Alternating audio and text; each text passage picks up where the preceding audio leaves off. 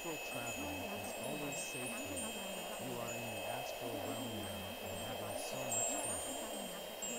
You explain exact steps on how to consciously leave your physical body, You astral project like Dr. Strange. You explain how to leave your body in astral travel.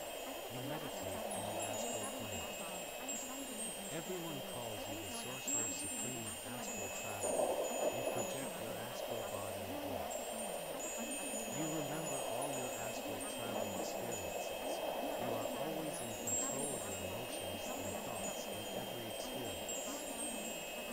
stay in the astral realm and experience like anything you want for as long as you want.